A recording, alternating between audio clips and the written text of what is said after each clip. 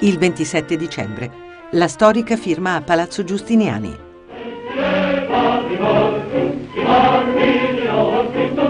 L'orologio della biblioteca scoccherà tra poco un'ora destinata a rimanere memorabile nella storia della nostra democrazia. Sono le ore 17 quando il Presidente della Repubblica prende posto al tavolo della firma. L'ho letta attentamente, possiamo firmare con sicura coscienza, ha detto poco prima De Nicola a De Gasperi. Da queste cartelle di cuoio la Costituzione passa ora nello spirito e nelle forme della vita nazionale. Noi, tutti gli italiani, giuriamo di osservarla.